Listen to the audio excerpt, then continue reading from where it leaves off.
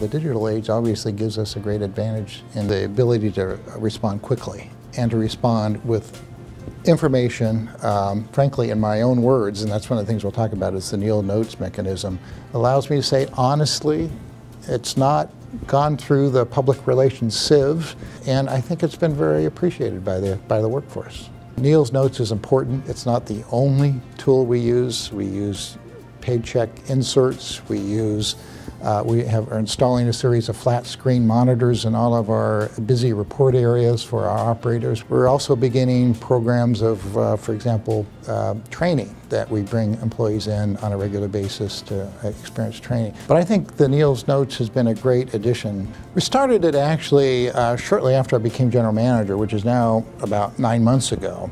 Um, and again, it was a, an attempt to begin to introduce myself to the workforce, to sort of become a real person to the workforce. Typically, I get a post out a couple times a week uh, all on various topics. And they're everything from our major safety initiative, which I've used it a lot, and probably if there's a number one topic associated with Neil's Notes, it's been safety. But also issues of budget, issues of priority, um, issues of um, our, our union contra contract. So we've been able to get a lot of different information out using that mechanism. One of the, the great opportunities to get a little feedback too. Now this isn't a blog in that it allows sort of immediate response and, and uh, certainly I would have never had the time to sort of maintain that over a period of time.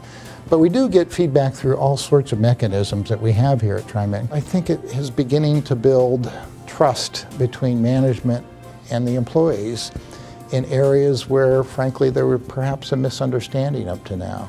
And I think that's been probably the biggest advantage of Neil's Notes is that sort of trust building, that sharing of information as honestly as we can with our employees, because there are no secrets. We're a public agency, it's an open book. Um, and we need to make sure that that information is out. Lots of times there, there can be sort of chapters. Um, so for example, a developing story can be uh, talked about at one status and then you know updated uh, you know a week later or two weeks later as the, as the issue develops. And actually, I think that's also a trust building relationship, which say that there are processes involved in these and many steps sometimes involved in our decision making. And again, making that a bit more transparent, I think, has, has, has uh, paid dividends for us. Well, one of the challenges is that also misinformation can spread just as quickly, which I think puts an extra burden, if you will, on management to respond uh, with the real information, with the real facts, with the real background, uh, so that perhaps things don't seem like they're coming from on high etched in stone, but there's a real rationale in place and it allows us a chance to begin to explain that. I would say that while we're at really the cutting edge of good, high quality uh, digital customer information, I think when it comes to social media, we have a ways to go still. We've been trying to respond to Twitter and uh, we have Facebook pages for some of our, for both TriMet and for our project, projects that are underway.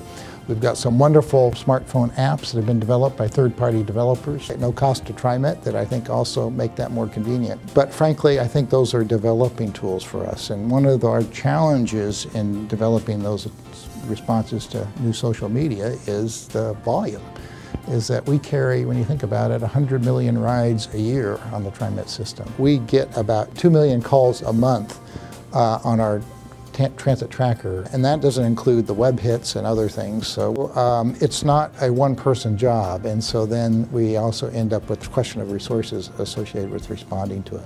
I think you have to look at it as a whole package. It's not one of these things, and not one of these things. Sometimes these things don't apply or don't work with some individuals, and you know, obviously you need to tailor the message to the individual the best we can.